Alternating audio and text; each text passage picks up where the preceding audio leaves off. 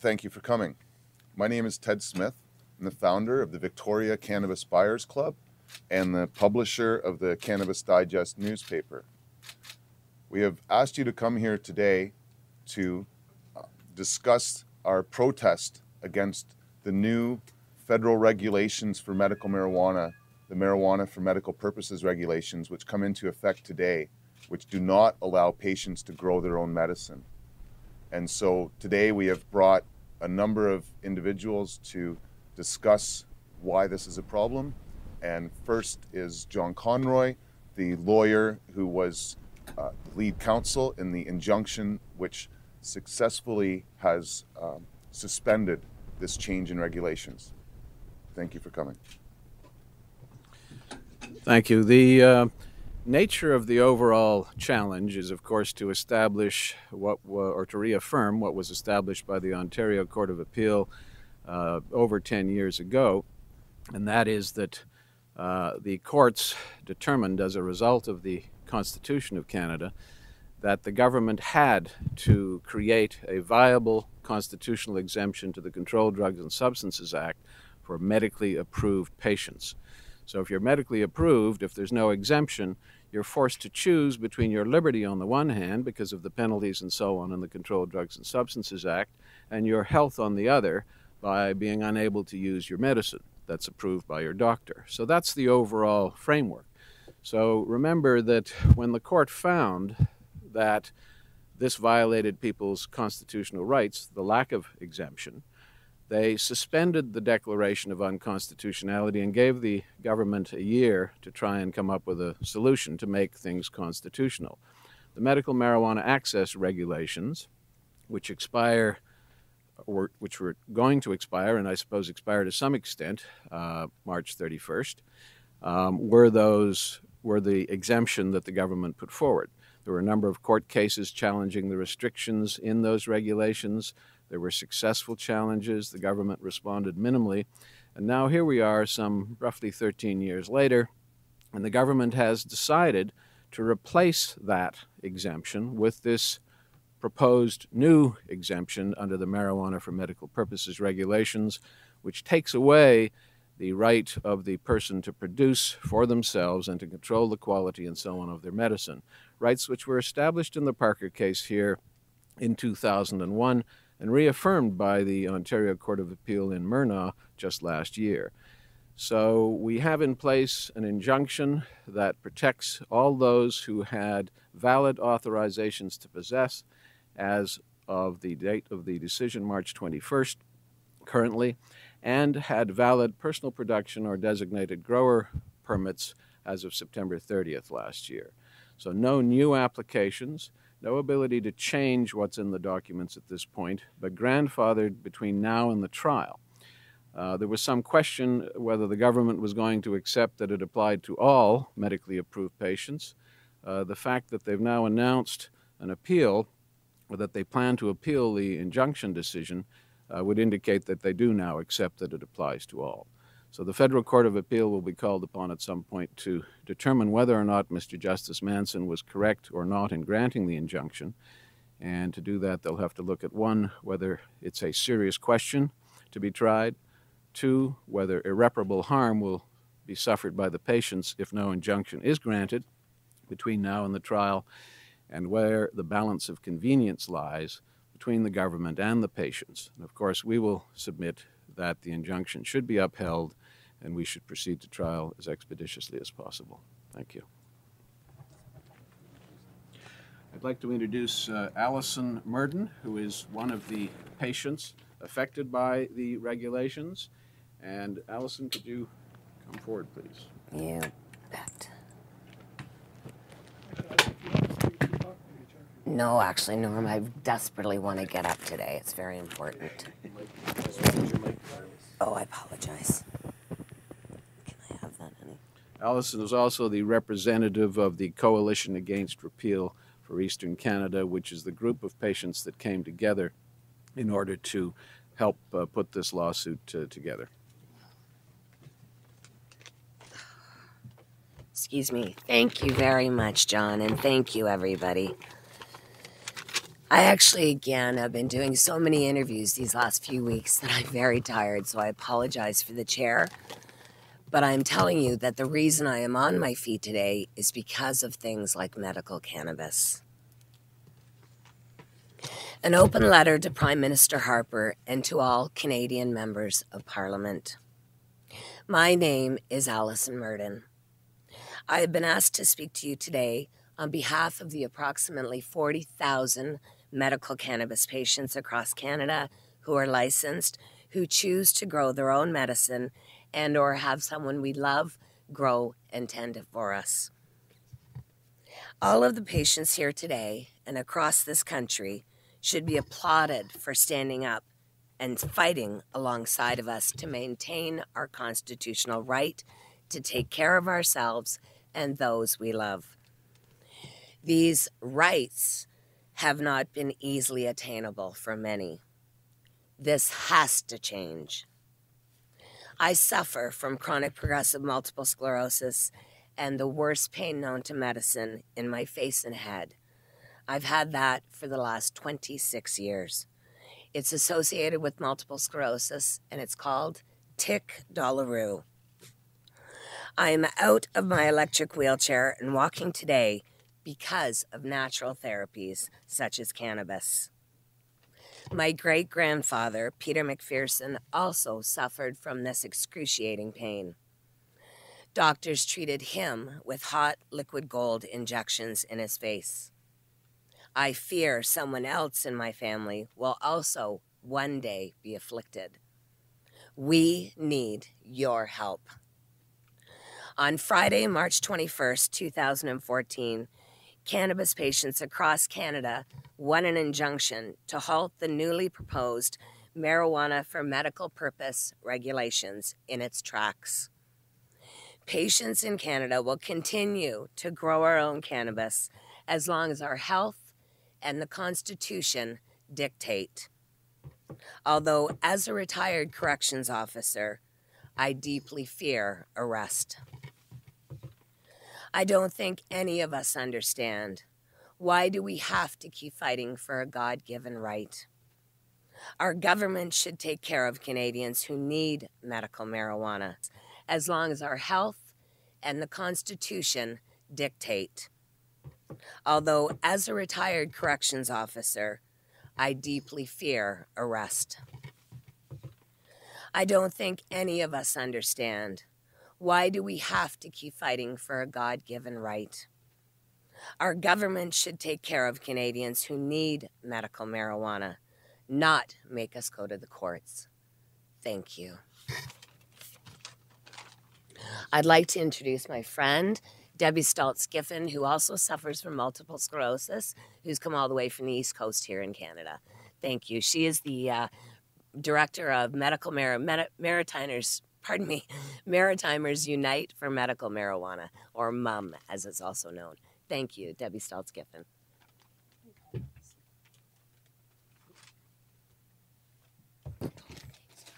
Thank you, Allison. Um, I've been also been a patient and enrolled in this program to grow our own cannabis as long as our health and the Constitution dictate.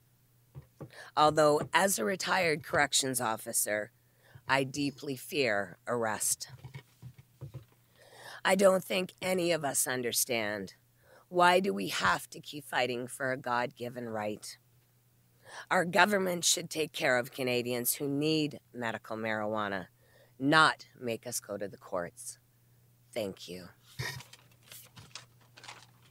I'd like to introduce my friend Debbie Stultz Giffin, who also suffers from multiple sclerosis, who's come all the way from the East Coast here in Canada. Thank you. She is the uh, director of Medical Mar- Mar- Maritimers, pardon me, Maritimers Unite for Medical Marijuana, or MUM, as it's also known. Thank you, Debbie Stultz Giffin.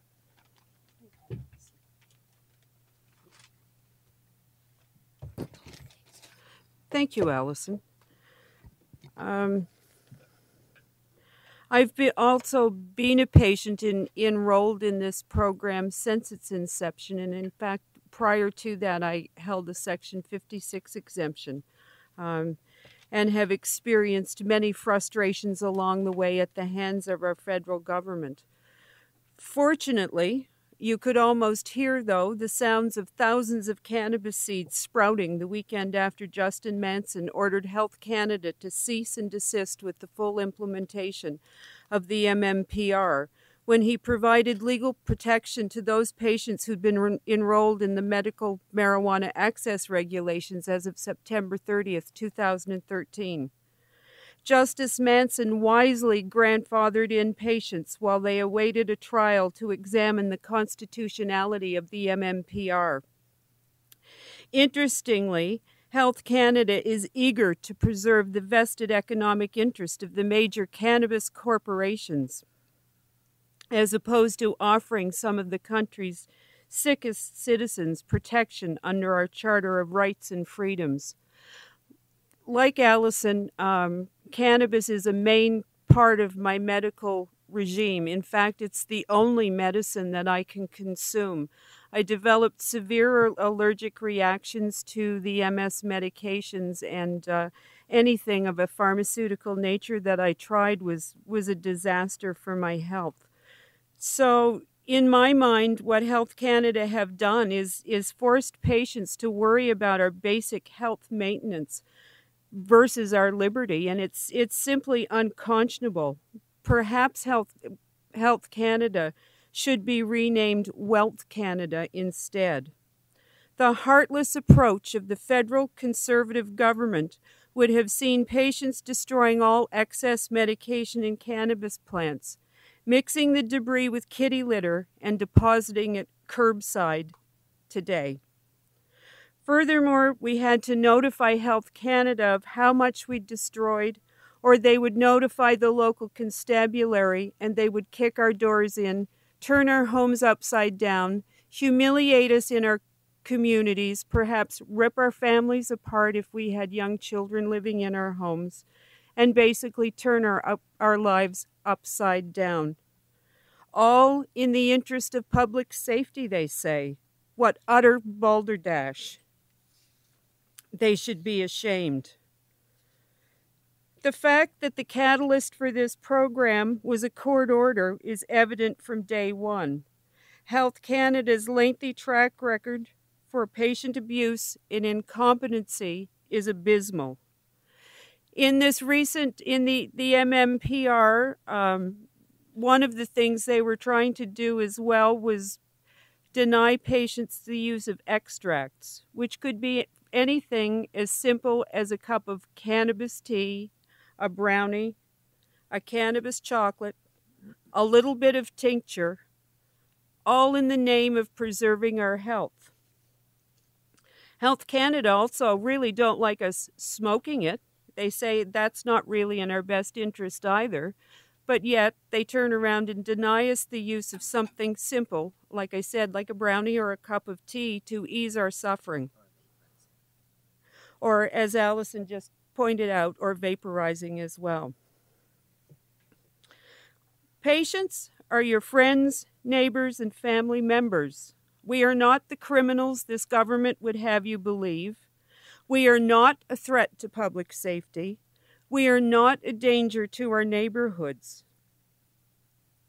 And the bottom line is when they lie, this being the federal government, we suffer and, and we being the patients, the critically, chronically ill of this country. Um, in fact, some of the illest people in this country um, being left to fight the federal government is absolutely abhorrent. They should be ashamed.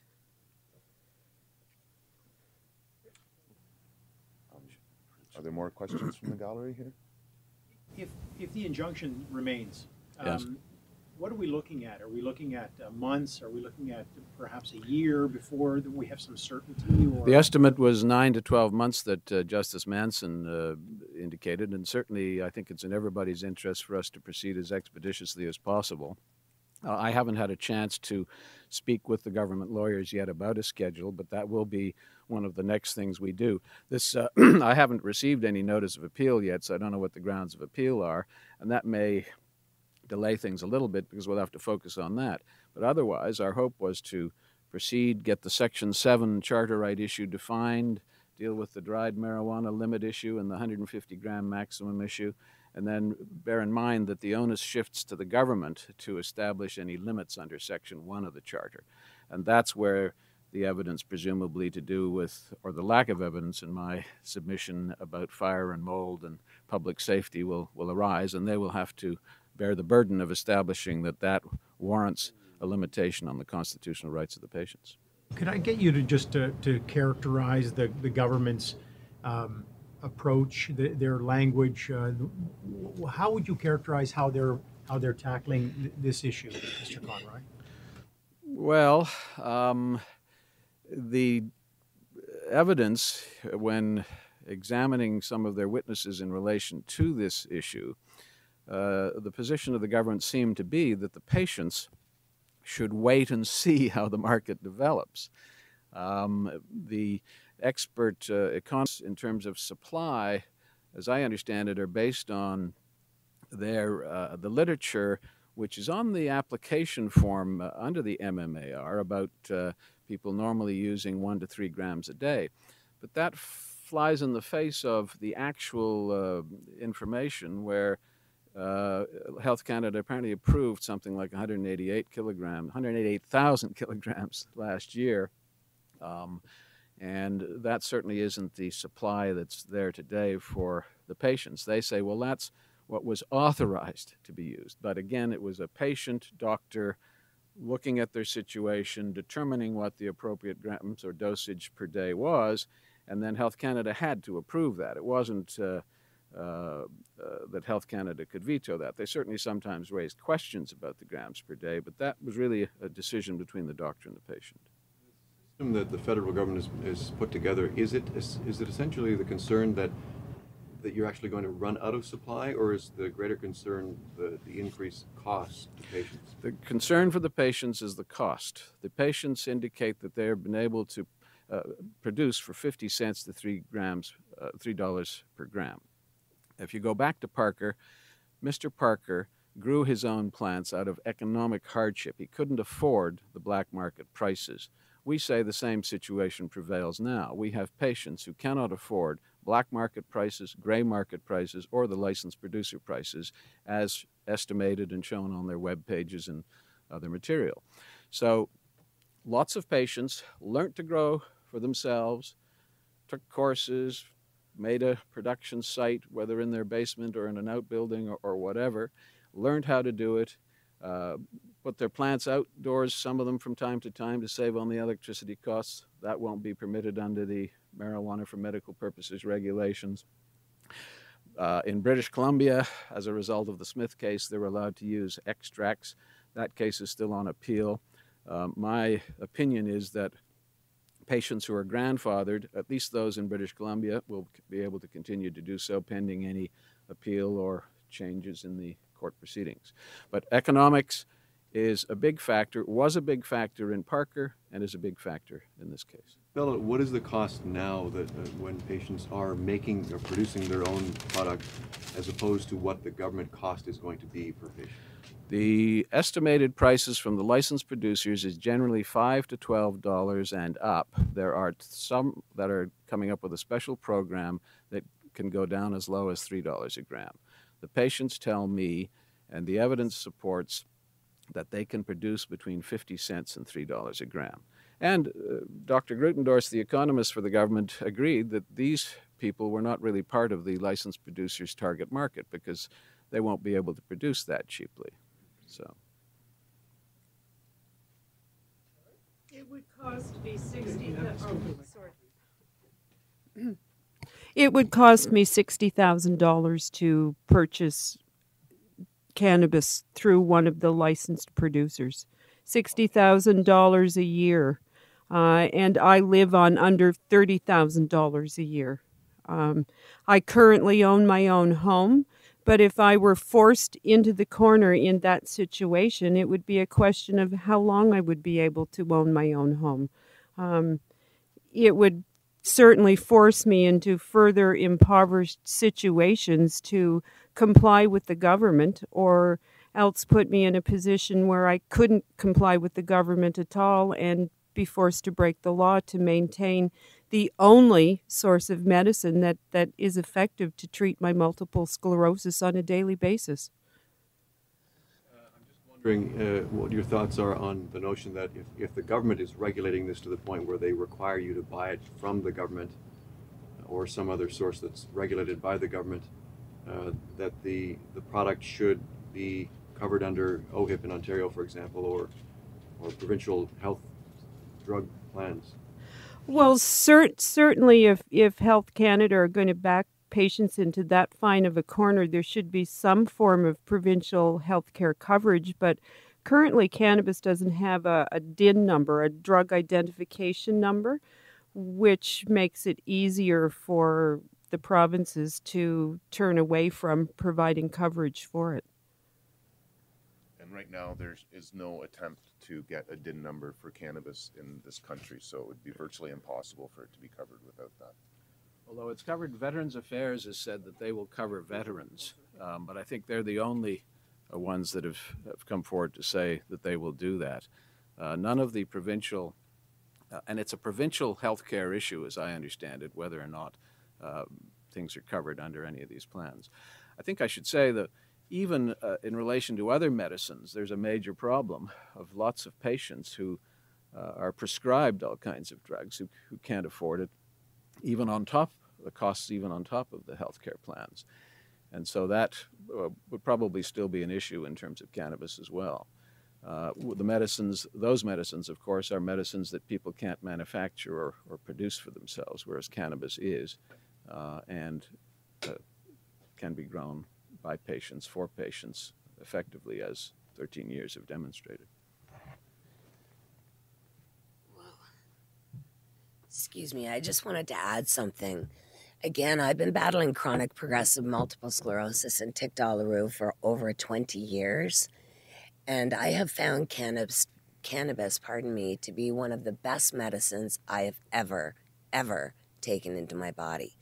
I use a lot of natural therapies. I've worked with doctors and scientists all around the world for the last 26 years to find out exactly how cannabis can help someone in my position and found not only can it help things like m- multiple sclerosis, but again, there are studies being done at some place called the International Association for Cannabinoid Medicines, which I mentioned on Canada AM this morning, because a number of the doctors that I deal with, again, are on the board there.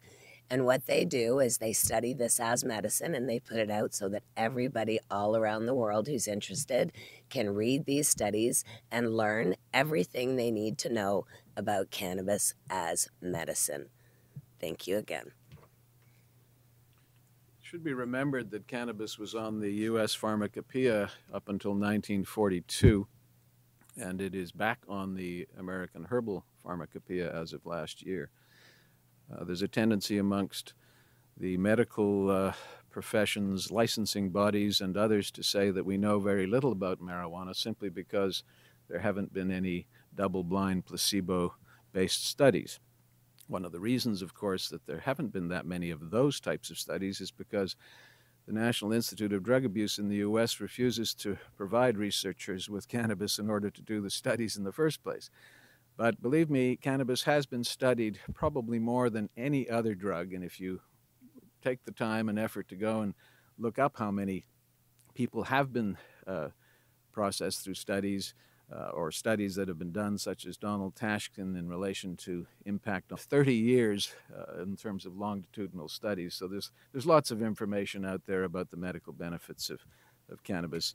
Um, it's just that the medical profession, uh, even though uh, this particular drug uh, has no lethal dose, um, is uh, saying that it has to have or be in the blue book or, or be something that's passed these tests before they feel that they won't cause harm. In my submission, their failure to look and investigate this is allowing people to suffer harm because of their unwillingness to look into this and and uh, really look into the situation for the benefit of the patients. Any more questions then? Thank you very much. Thank you very much for coming. Thank Uh, you. Guys want to do some Um, on one on one on ones, I guess Okay, and we are having a rally at noon on the front lawn, uh, if There'll anyone be would be. patients from all across Canada. Yeah, there's a so lot more people here that would like to protest this, We are so. not taking Thank you this very much for sitting coming. down. Thank you. Oh, sorry. Norm.